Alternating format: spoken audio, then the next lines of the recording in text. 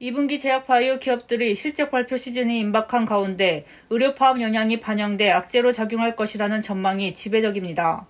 상위 제약사들은 견고한 신약 매출과 수주 확대에 힘입어 성장세를 유지하는 반면 전문의약품 매출 비중이 높은 중견 제약사들은 타격이 불가피할 것으로 보입니다. FN 가이드에 따르면 올해 상반기 매출 1조 원을 넘길 것으로 전망되는 기업은 삼성바이오로직스와 셀트리온입니다.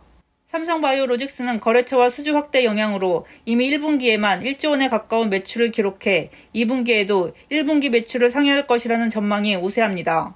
오늘과의 경영권 분쟁이 벌어지고 있는 한미약품도 2분기에 견조한 실적을 낼 것으로 전망됩니다.